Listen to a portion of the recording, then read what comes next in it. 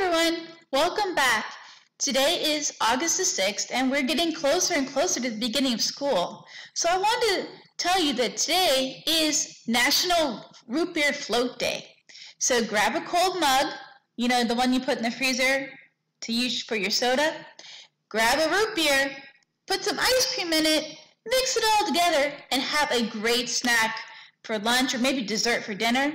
My suggestion is since it's so hot outside, grab your root beer float, take your shoes off, and go dangle them in the grass or maybe a nice swimming pool if you have one around.